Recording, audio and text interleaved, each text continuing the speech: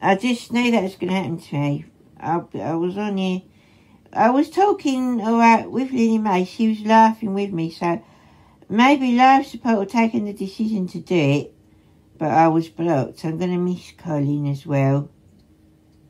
And um, Dean, I'm going to miss you, Dean. I don't know when I'll be able to get back on you again.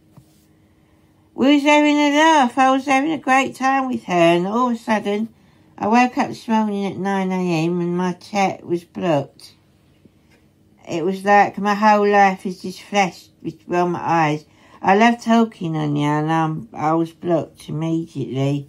I was on Snakes and Ladders last night and uh, I'm blocked. I'm totally gone now, I'll tell you.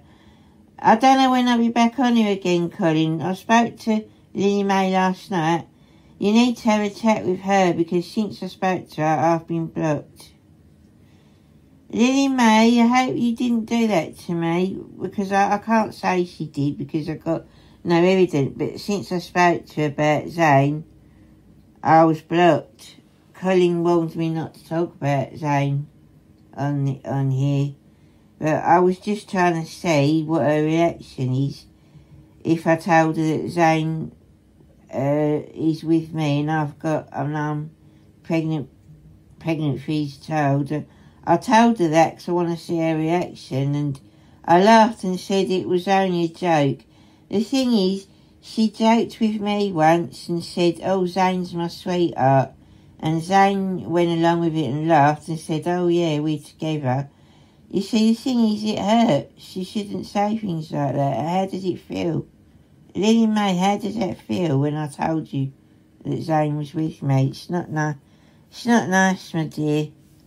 And you didn't like it. She didn't like it. She said, she said, oh, but he's my best friend. I said, but he's going to move in with me and come and live in England. And she didn't like it at all.